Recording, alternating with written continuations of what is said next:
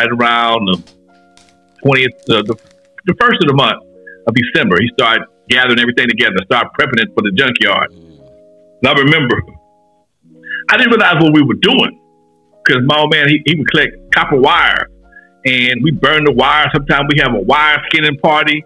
He take all the wire down to the uh, to the recycling place Mm. and get money, give it to my mom. My mom would go. She disappeared for a couple hours, a few hours. And my old man always had this saying. If I asked for something anytime around November or December, he'd always say, "Christmas right around the corner. Christmas right around the corner." And I'm like, "Okay, I'm young, but I, you know I could go around the corner and look for Christmas. I'd get on my bike or whatever, looking for Christmas." And we never found it, of course. But one day, my sister, with a smart ass, uh, went. And my mama, my mama had a cat. Well, dad, they had a Cadillac, and uh, my mom, my sister knew how to open the trunk up from the glove compartment, and popped the trunk, and there was my GI Joe with the kung fu grip, and there were all our Christmas toys, man.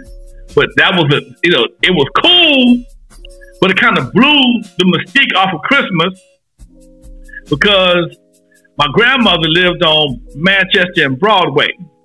Okay. And but anytime we go see my grandmama, we ride down Broadway. And going down Broadway as a kid, we, they, they'd, have, they'd have big Christmas decorations starting at about, I don't know, maybe about century. Okay. And the whole street would be lit up with big Christmas decorations. All the windows would have uh, snow in them and lights and stuff. And you felt like it was Christmas. You felt like it was Christmas. You could go to the neighborhood um, where I lived at. Um, at that time, I lived off of El Segundo and, and Main Street, but over off of Avalon, between Avalon and Central, El Segundo, and 135th Street, all the neighborhood block clubs got together, man, and decorated the shit out the neighborhood, dude. It'd be beautiful. Like you, you, you be going through a whole sea of lights. Black folks was doing this.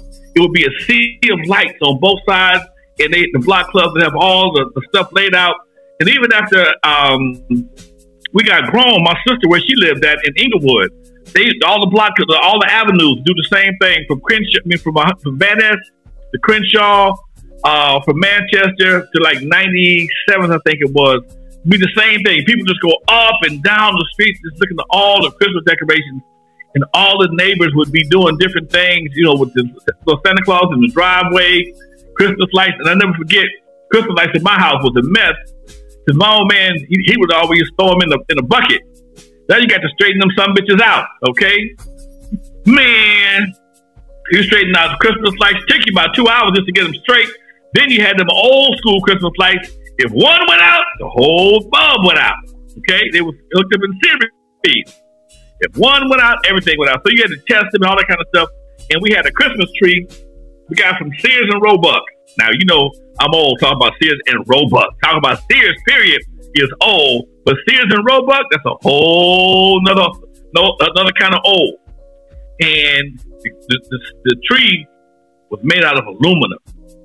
Okay, it was aluminum, and uh, like it was made out of like a uh, like um, party paper, aluminum party paper with silver, and you had the the sticks, know, the pole in the middle with holes in at an angle, and you stick the poles in the thing, and, and putting on the length of the poles, the tree would go up like, like a regular tree, but so the poles were kind of tapered. I mean, the, the, the, the, uh, the stems were kind of tapered. They were all made out of metal, and you put them a little sleeve, take out the sleeve, and it was numbered and coded or whatever. You put this one in that one, that one, and this one, this one. And you get the tree, and we hang all the little bulbs on there and put little lights on there, and then you put the little rotating, the little rotating multiple colored light on it, and, and sit in, always sit it in the window of the house. Always sit in the front window. We had a big picture window in our house, and that's where Christmas tree went, dude. And that was a major event, and uh, include that that that mentioned.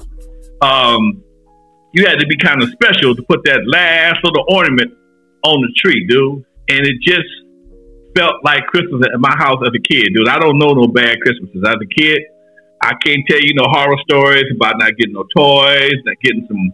I can't do that. My old man dealt me a different kind of hand, and uh, I've always kind of followed his tradition. my mom, you know, my, my, my family is kind of weird because there is no, there's no two groups of my family that have the same religion. All my family is something different, dude. I got cousins that's Christians. I got cousins Jehovah Witnesses. I got cousins that's Muslims.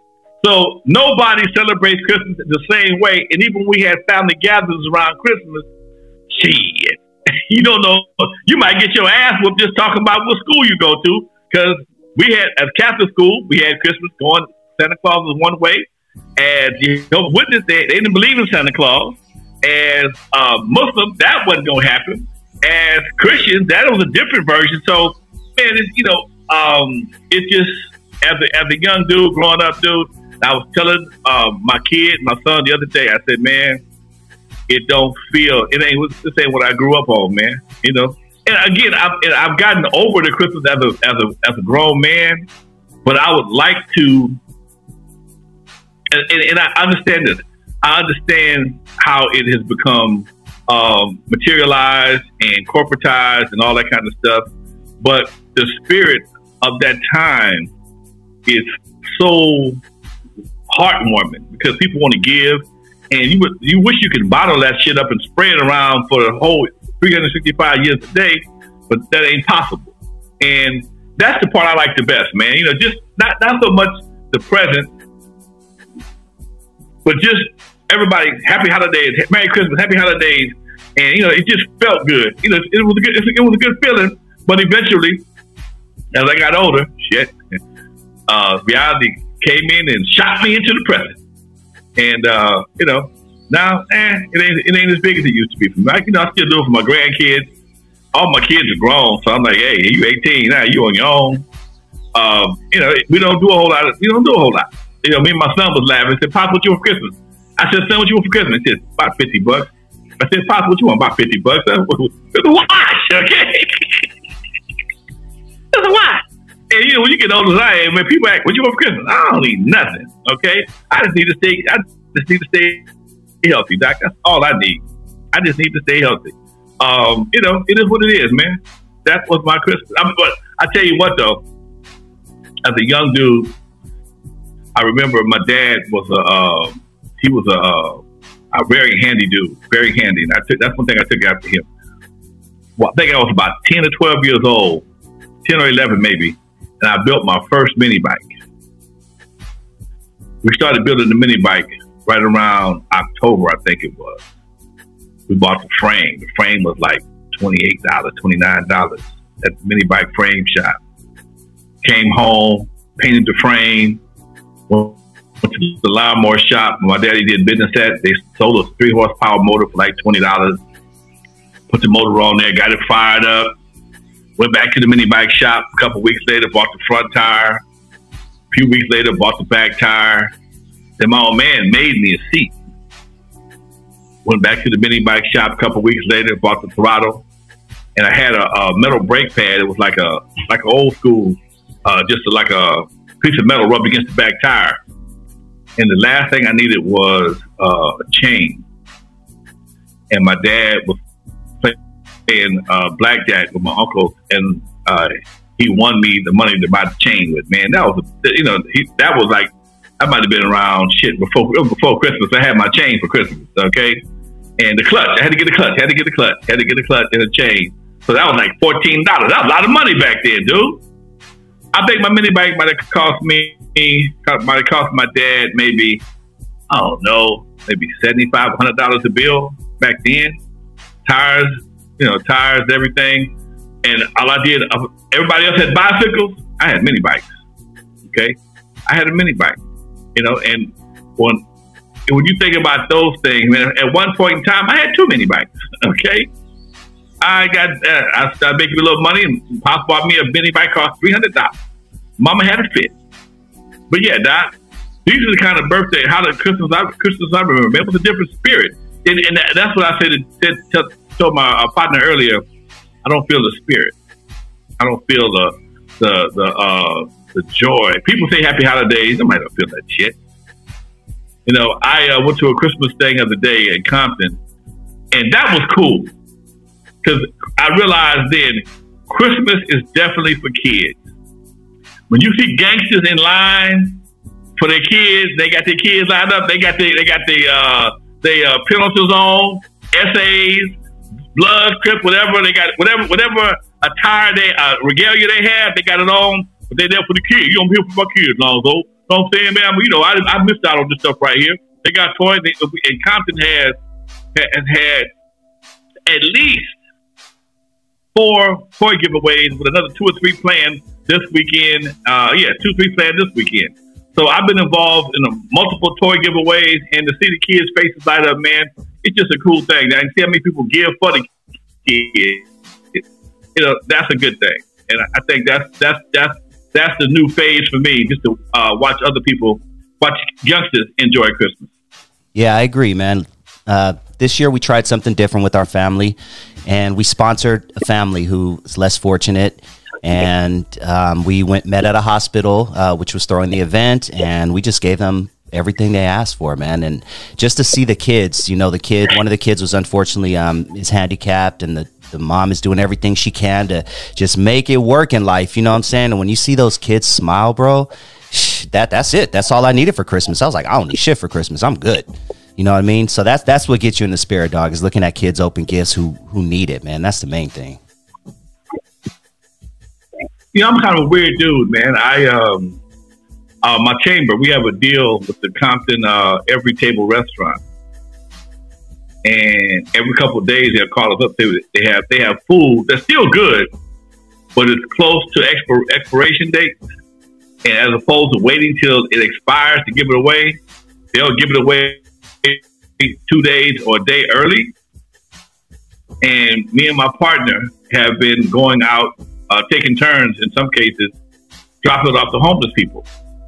And man, to see a grown man, thank you, call you, man, you are an angel, dude. You are, call you an angel or some shit like that, man. I mean, because folks be out there, you know, things ain't going ain't going well for them. Doc. You drop off a big old bag of uh, food, all they gotta do is put it, stick it in the microwave, or sometimes just start chewing it's it's it's a it's a good feeling to be able to help somebody. Uh, period. Not not not because they only um, you know having a bad time right now. Just be able to help people. Period, man, is a blessing to uh, it's a blessing within itself, dude. And like I said, we talk about grown folks who you know, hey man, if I pull up and I see a a, a, a mobile home, people out there parked, you know, I pull up, hey man, y'all hungry? Yeah, man, and dude, they, they hit the truck and um, I used to take pictures of them. I stopped doing that because you know you never know somebody might somebody's life may change. They don't want nobody, man, nobody know their situation. So it is what it is, Doc. It just feels good to be able to give give people like that. Yeah, man. You know, earlier you mentioned GI Joe with the Kung Fu grip.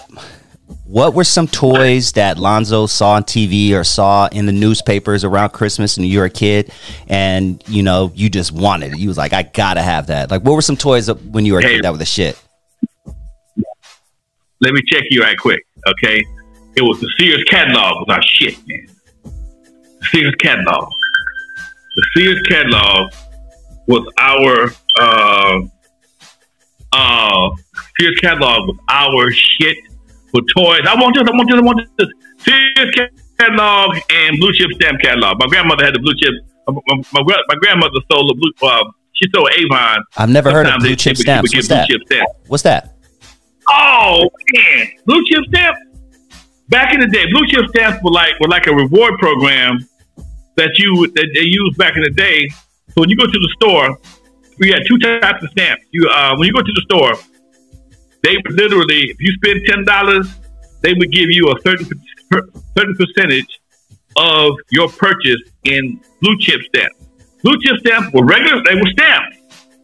They were stamps, okay, like a regular, like a postage stamp.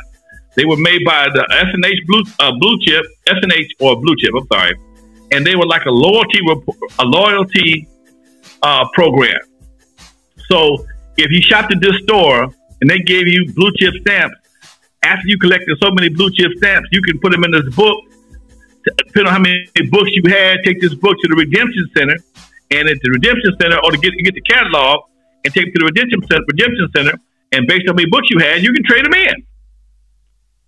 Okay, you trade these uh, while, and they had back then they had the good glue, And my mama, she would use, use a sponge, and sometimes she use a wet, a damp rag.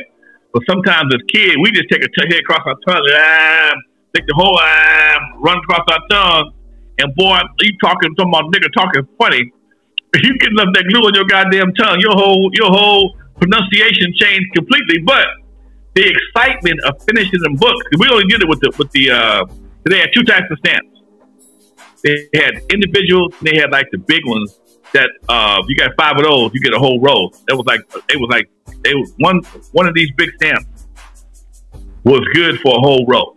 So I take the big roll, run them across my tongue because I was too lazy to go out, you know, put them in the um, get a sponge or whatever.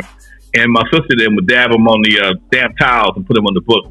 They took a lot longer. But anyway, yeah, man, we shopped at the blue chip stamps, go to the catalog, and then they had the, I said the Sears catalog was shit, or the Spiegel catalog, and back then, we only had two, four, five, seven, nine, 11, 13 channels. So, shit, you watching the news, here come a, here come a commercial for Hot Wheels. You watching the news, give me a little fat ass Santa Claus on, on the sh- on on the Schick shaver, riding down the hill, hat looking like the looking like the Pillsbury Doughboy, or you you know you Saturday morning around Christmas time, all the bicycles are there, Doc, because you know you only had so many channels, so they had a captive audience when it came to advertising. And we sitting there, man, in front of in front of the uh, TV every time a uh, a swing commercial came on or a BB gun commercial. They sold BB guns on TV. They advertised Daisy BB guns on television like it wasn't shit. And I was a BB gun having son of a gun. As a kid, I had BB guns all my life, man. So yeah, we had advertising. We was bombarded like everybody else. Uh, you had the newspaper, but we had mostly had catalog, and that was my, my mama did most of her shopping through the catalog. The catalog, man. Damn. Okay, so we're going way back. Catalog be this thing. Yeah. Catalog be this. Y'all, y'all got to see my hand. My cat, my catalog about that thick. Okay, and they had everything from car parts to uh, fishing gear, drawers, underwear, whatever you need. Sears had it. I tell you how big Sears was. Sears, um, the the the um, Compton Swap Meet, now the Walmart used to be a Sears, two stories. Yep. That was the that was the Sears. Okay. Yep. Sears was a huge catalog company uh, out of Chicago, man, and um, they sold. They had retail stores everywhere, and you know, you buy, you go to the catalog, you order something at the catalog, you pay for it.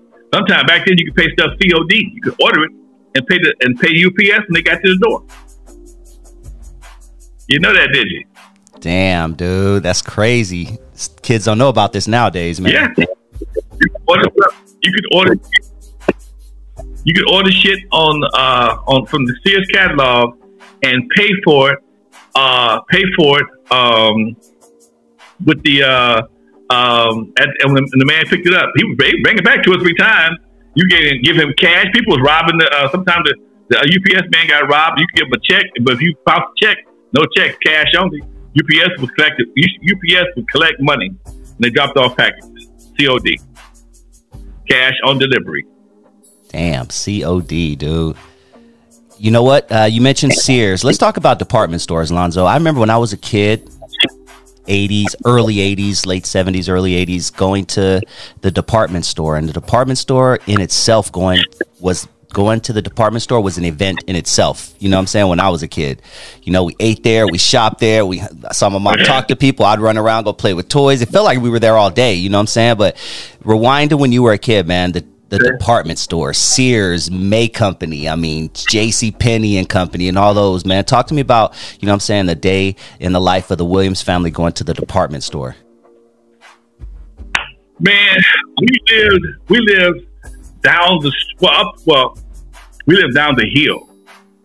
The department store that we shopped at most of the time was called Gibson's. It was up the hill from my house. So we lived, our house technically, or I lived at the kid was in a hole. They call it the hole. I lived off Main Street between Main and San Pedro, and any way you wanted to get it, leave my neighbor, leave my street, you had to climb. It was a slight hill. Get out of the, get out of my neighborhood, out, off my street. Top of the hill uh, was a store called Gibson's. one side was a grocery store, other side was a department store, and they had you know back then everybody had everything in the store. The record it was a record shop in there, insurance shop, a cleaners, uh, a little hamburger stand, some pinball machines. I remember pinball machines first hit that. Boy, I was in the, in the store every day. Uh, next door, then they had a department store with the clothes and the TVs and the radios, and it was a big store. It was a big store, and it, every once in a while, they would have carnivals in the parking lot. Oh man, talking about talking about having a good time at the carnival. They have big old carnival. The lot was huge. They have. I, I rode my mini bike up there a lot of times, but we also that's why I rode my mini bike most of the time in the parking lot uh, then they had the carnival sometimes. It just was a it was just a big spot, man. I mean, it was local because you had then you had Zody's. Oh yeah, man, you know, was Zody's. the shit. In Long Beach, there was a Zody's. Zody's was shit. Zody's was the shit. Um, difference between Zody's and Gibson's. Gibson's, when you bought shoes, they was tied together with, with a piece of plastic. Zody's, you might have got a box. Okay, you might got a box with some shoes from Zody's. Okay. White Front was another store. Okay. We had White Front um, off of uh, Imperial and Normandy. We had the White Front. Okay. And that was a very popular store at that time. We had a lot of department stores because back then, man, uh, wasn't a lot wasn't no malls, so all we had was department stores. So department stores served your every your every shopping need. Most of them had grocery stores and uh, some part of a grocery store, clothes store, whatever the case may be, and they serve different neighborhoods based on what they needed. And eventually, they got replaced by the shopping center in the mall. And uh, but man, shoot, um, we had we had a store back in the day called Western Surplus. This is for all the triple OGs. Triple OGs. Western Surplus was on Manchester and Western, right across Manchester, just just north of Western, and it was an Army surplus place, and it was a funky place, but it was a cool, funky place. Because literally, when I say Army surplus, they would bring in um, Army fatigues, Navy clothes, uh, Air, Air Force clothes. Sometimes guys would um would would, um you know, retire or whatever, and just leave their clothes. They would buy them. They had uh, helmets, uh, German helmets, World War II shit. They sold guns. They sold uh, ammunition, and it, it, it the one the one I was most popular with, most familiar with, uh, Western on Western and uh, Manchester. It uh, I think it I think it burnt down. They they raided the shit out of it during the Rodney King riot. it was right around the corner where everything I kicked off at on Normandy and um, Florence.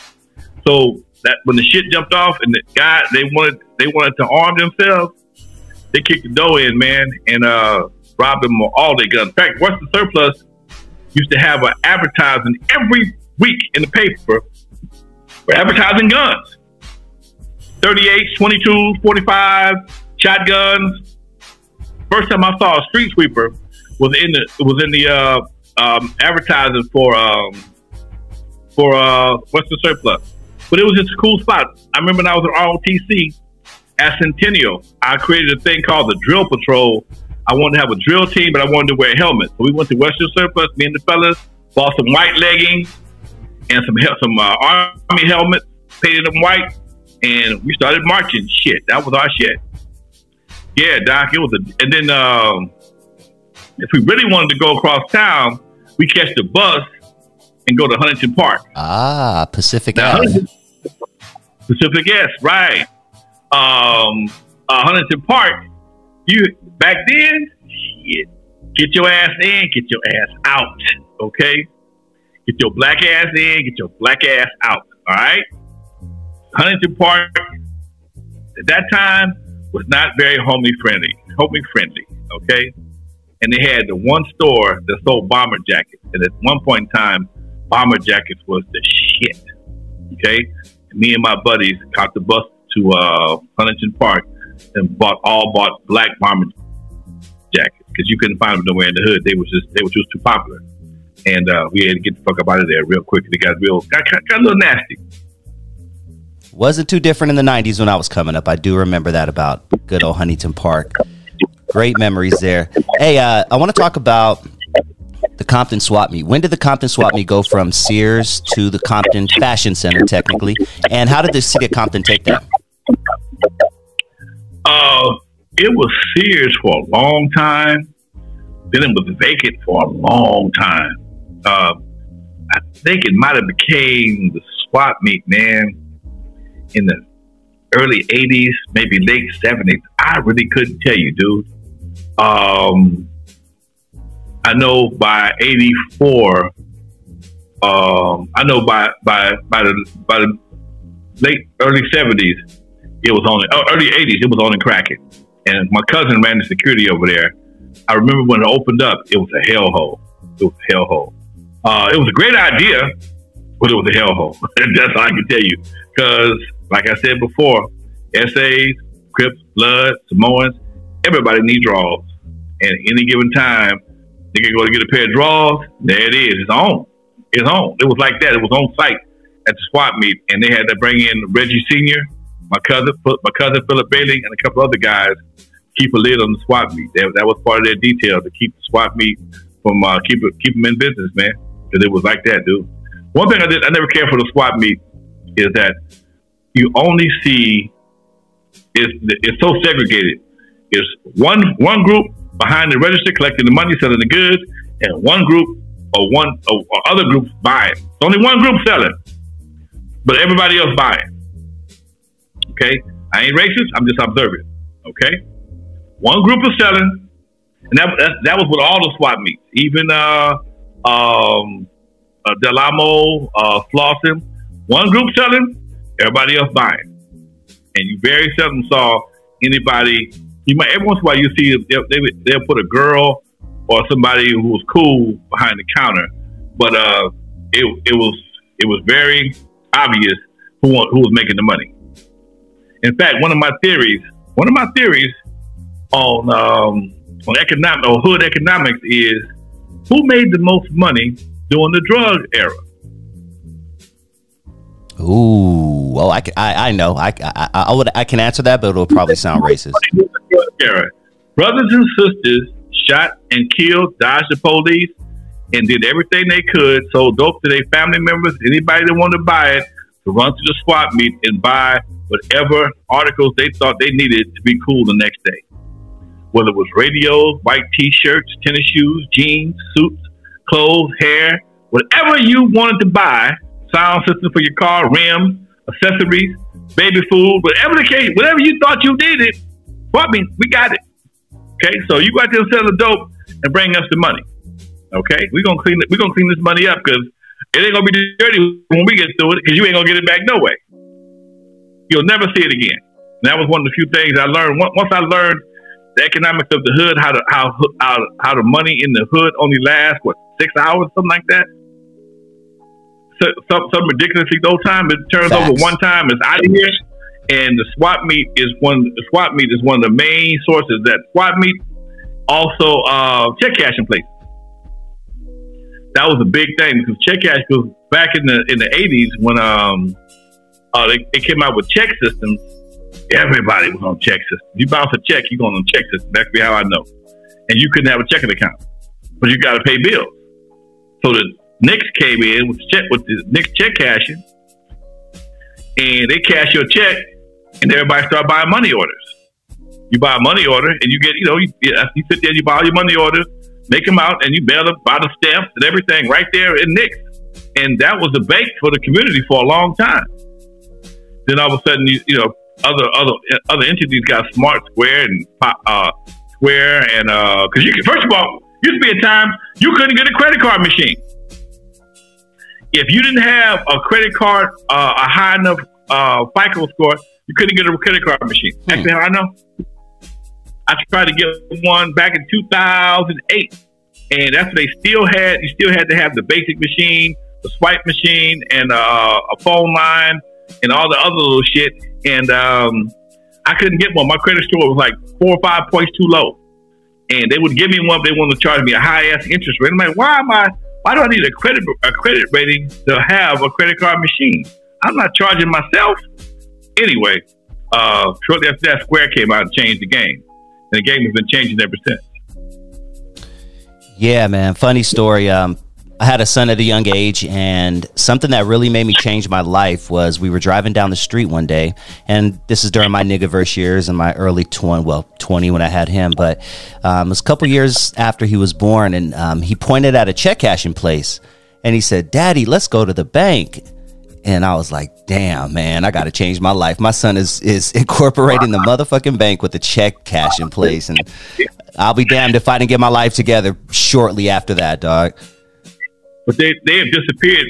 For the most part, they've pretty much disappeared, except for in some communities. I know uh, a lot of the ones in Compton gone. They disappeared left and right. Used to be a time you go to the check cashing place, do all your business, pay your light bill, your phone bill, uh, cash a check, and just do it all right there. You know, in fact, at one point in time, you could there there were no um, uh, DWP Edison offices anywhere. Everything was done through the swap meet. That's and right. Most check, yeah. most most swap meets had check cashing um, uh, offices in there, and or a satellite office to pay your DWB, DWP, Edison, or a phone bill, or even some, even the gas bill.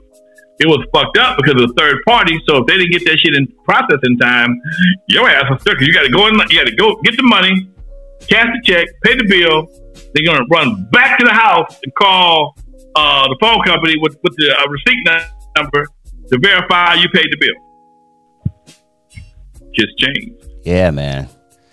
Damn, different time, dude.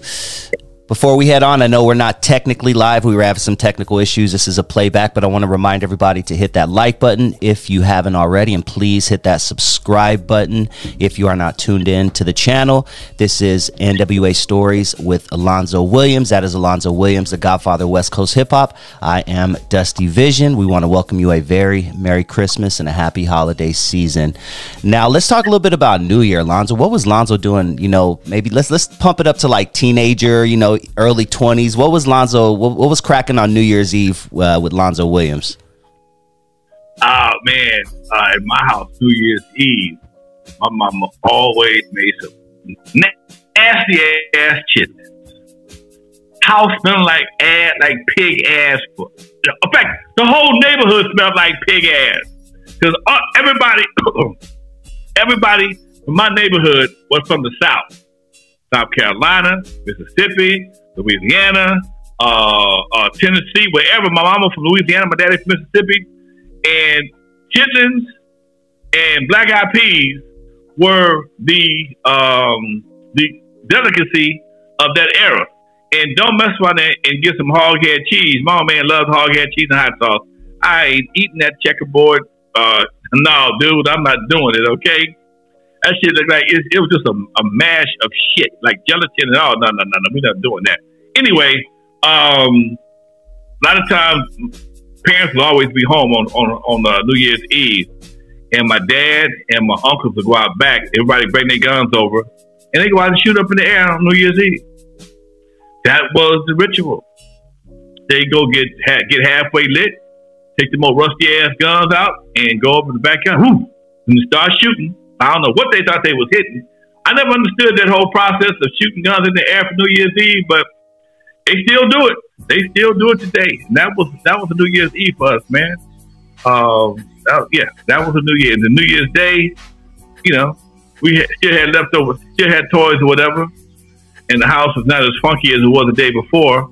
But it was it was always cool, man. I can't remember having a real bad New Year's Eve as a kid.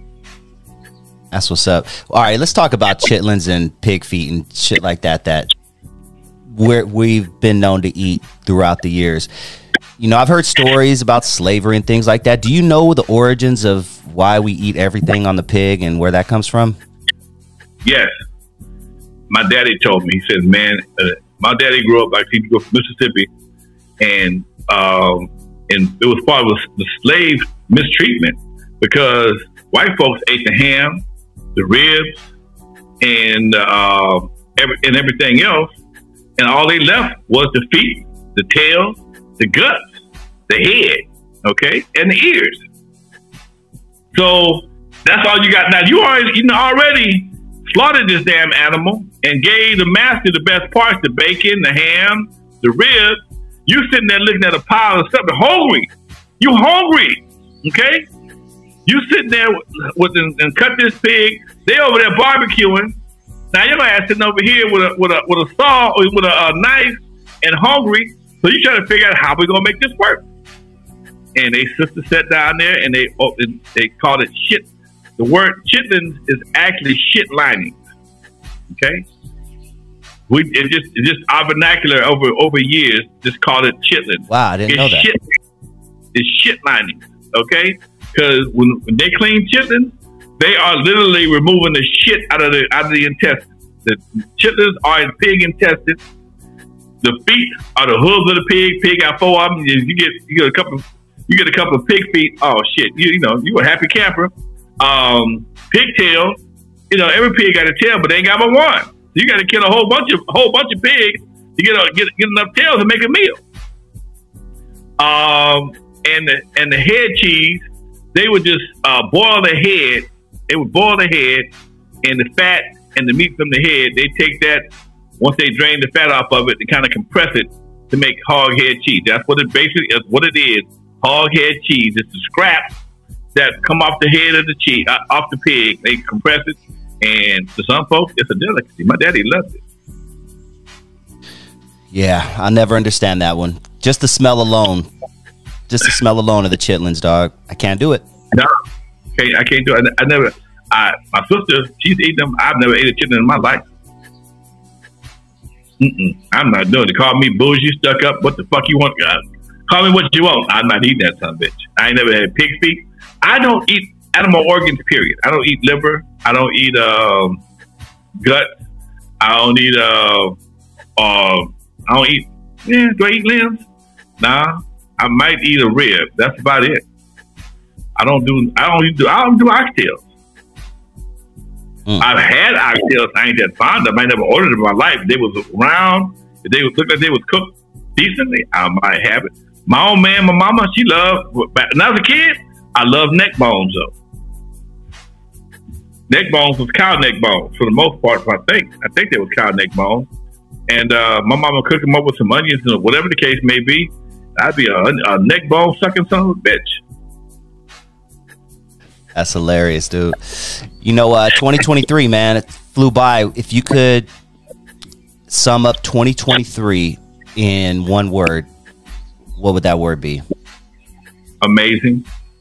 I love it. That's positive. Talk to me. Amazing. Dude, I, I, um, I got a call today from uh, one of my state, one of my buddies that work for the state senator's office. They're considering my my organization, the chamber, to be uh, one of the uh, most, uh, unsung businesses in the community. So we've done so much. I mean, this year, I've been to uh, the New York thing, the documentaries, the Easy Street, uh, going to Sacramento with, with the uh, Hip Hop Hall of Fame, the 50th anniversary. Um, it's just been amazing for me, dude. I mean, I hit the ground running and I ran so fast, I ran right through the whole year. And I look back, I'm like, damn, we did that. You know, and I didn't do it alone. I no, no, no, no, no, no, no, no. I didn't do it alone. Okay, you, Kimberly, Nicole, Earl, Vicky, Brent, all uh, Velo, uh, my whole my whole team. You know, we, we, I think I think what it is the team that that I work with, that we work with, has everybody got. It's, it's like it's like it, it, reminds me of that. Uh, what's that big old that big old toy Transformers friends to come together in uh or uh, GoBots or, or all Voltron, together. Voltron, Voltron, GoBot, Voltron. Yeah, okay. Everybody got their own thing. But when it comes time to get out, it's Voltron time, baby. Everybody step up. Let's do it. Everybody got their own lane. Everybody know their job, and if you don't know, you don't have a job, you find one. Okay, and that's what that that I saw that this year. Uh, oh, guys, I can't forget about Kurt. Okay, can't forget about Kurt. So everybody I, that I've been associated with myself this year, we pulled off a lot of stuff, a lot of things um, that I did. In most cases, wouldn't be possible if we did we if we didn't have the money. We didn't have a lot of money. We still made things happen, man. A lot of what we a lot of what we did was through resources and connections. And imagine if we had a couple dollars, couple of more dollars, I should say. Yeah, man. And that's why it's important to kids out there. Maybe this be a good game segment, G A M E, grown ass men enlightenment. But that's why it's important to always be professional. Um, you know, always work like someone's watching you. Always build good relationships, keep them, don't screw people.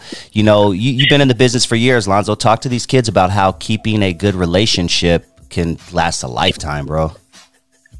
You know, um, one of my phone calls, uh, phone call I got today, man. I didn't ask for this. Hey, man, I got, I'm doing so and so and so and so. I need to do this right here. Um, send me an invoice. Huh? Okay. But again, it, these are relationships you develop over time, and you you you can't forget people. You can't forget where certain things come from. Sometimes, every once in a while, I forget. But you got to remember and look out for people who, who look out for you. Relationships are everything, man. Relationships, in some cases, are more powerful than money. In some cases, relationships are more powerful than money. And and, and some in some cases, uh, money don't have shit. Money don't mean shit if you've got a bad relationship. And sometimes people will purposely block you because you think you can do something that you think your money can get you out of. Nah, I'm gonna prove, prove, prove, I'm gonna prove a point to you right now. Your money don't mean shit over here. Now, now what you gonna do? Okay. So I tell anybody, man, I always treat everybody with respect, and sometimes people, cause I call everybody sir. I call them by their, by their last name. I call you, uh, I call you Dusty, but a lot of times my business, my, my business associates, what's up, Mister So and So? How you doing, sir? And uh, you know we are maybe the same age, and sometimes they may be younger. It it ain't about uh, trying to make somebody feel superior. It just make them feel good. And don't mind taking your phone call. And that right there, uh, that's something I learned. Um, you get more flies with sugar than you do with shit. I remember when uh, Jeffrey was alive. When I, and I saw his name on my caller ID, my heart would drop every fucking Cause you never, you, you, might get cussed out. Nine times out of ten, you gonna get your ass cussed out or something is wrong, and you don't know, you know, the situation. But when Frank called me, and I don't, I don't, have, I don't have his son call me, I don't have to say, I don't have the same feeling because he and I have a different relationship. Uh, when some people call, I'm looking forward to them, and when they answer the phone, I make people feel good. Hey, man, how the hell you doing? How your kids? Blah blah blah. You know, that's that's, that's shoot the shit first, okay? And then we're gonna talk business. You know, if we if it, this is a real quick conversation, but yeah, man, relationships are everything. And you know what? Call people to check on them. You ain't got to want something to just call a person up, man. Hey, man, how you doing? I was thinking about you, and people do it. People did it through the holidays. That's why you get Christmas cards. The Christmas cards do the same thing that a phone call to do. Christmas cards same same, serve the same purpose. To say, hey, how you doing? I thought about you during the holidays. Here's I spent twenty nine or forty nine cents on you to make uh to uh you know to think about you. People do the same thing with texting. Holidays. Hey, how you doing, man? Happy happy holidays, you and your family. You know, you got to return them, call them back, whatever the case may be. But just reaching out, let people know that you thought about them, is uh, very important, especially in business, in relationships. Facts, dude. And that, ladies and gentlemen, is some grown ass man enlightenment. First of all, happy holidays, everybody. No matter what holiday you celebrate, I don't care. Happy holidays. Feel the spirit. You ain't got to buy nobody nothing. Just feel the spirit of giving. If they, they was giving them a good hello, give them a give them a, give them a handshake or give them a hug, it's still giving, folks. That's all you got to do. So just give somebody a, a, a good hello or a good hug or a good handshake. Make them feel special that day. Uh, like I say every week before I go, for those who don't, who never heard of me, I'm the first one to put Dr. Dre in the surgery. Stuck Ice Cube in the freezer till he got cold. On the eve after dark, 50 yard line, Super Bowl. In the movie Straight Outta Compton, they played me as a straight hater of rap. Don't believe that Hollywood bullshit because it was all cap. My history goes deeper than most of y'all will ever know. Just remember that NWA stands for Not Without Alonzo. Peace. Happy Peace. holidays, folks.